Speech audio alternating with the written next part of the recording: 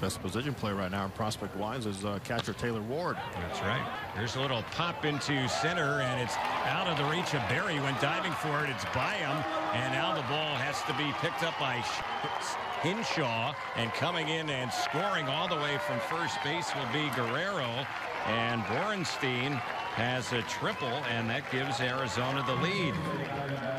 So Quinn Berry, we've seen uh, him do that a few times here this spring, uh, trying to make a diving catch, but uh, really didn't have much of a shot at that one. Gave it a good effort, but once he went diving and didn't get it, then that ball started to roll behind him deeper in the center, and Hinshaw had to back up and get to the ball, run on the board, and Arizona back on top.